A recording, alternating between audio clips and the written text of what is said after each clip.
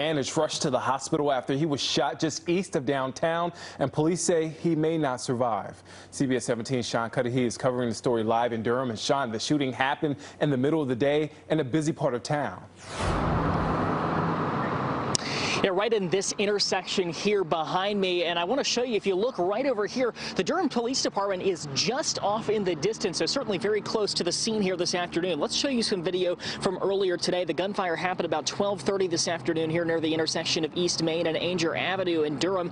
As you can see, when our crew got on scene this afternoon, police had roads in this area closed off. Investigators have not shared much about the circumstances, but did say one man went to the hospital following the shooting. Police say he had life-threatening injuries. Now, we are going to keep working to find out more about the circumstances surrounding this shooting here this afternoon. It was not the first shooting. It was actually the second in as many days here in Durham this weekend, and we'll bring you any updates as soon as we get them on CBS17.com. For now, live in Durham, Sean Cudahy, CBS 17 News.